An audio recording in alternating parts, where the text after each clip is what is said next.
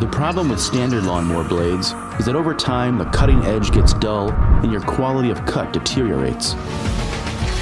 LaserEdge Eversharp blades incorporate special technology which allows the blade to actually cut itself sharp and eliminate regular sharpening while maintaining a great cut all the time. As a standard blade cuts, you see how the metal wears down and the cutting edge becomes dull.